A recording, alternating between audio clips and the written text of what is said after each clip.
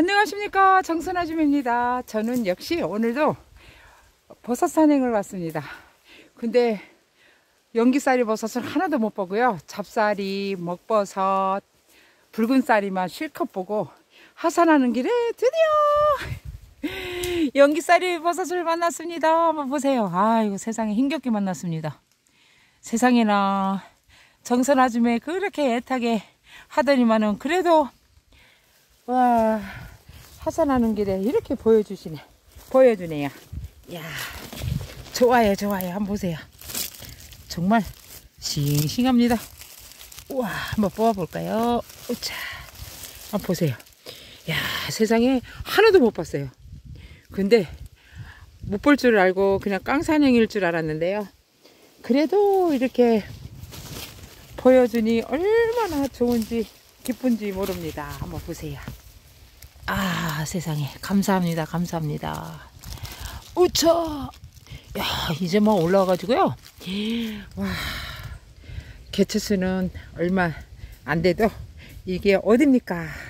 고맙습니다. 와 너무 좋아요. 너무 좋아. 으차. 오 보자 보자. 와 오늘요 우중 산행이었어요.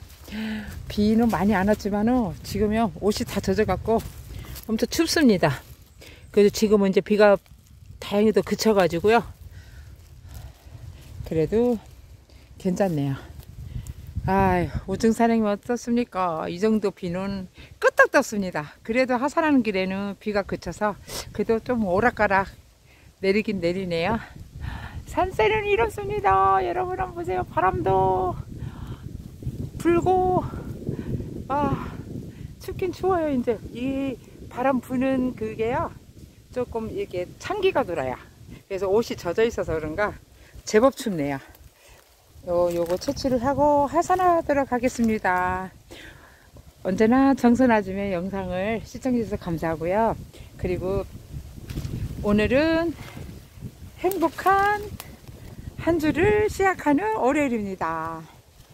항상 좋은 일만 생기시고요. 행복한 일주일 보내시고요 그리고 또 한 번씩 심심하시면 장선아줌의 영상 보러 오세요.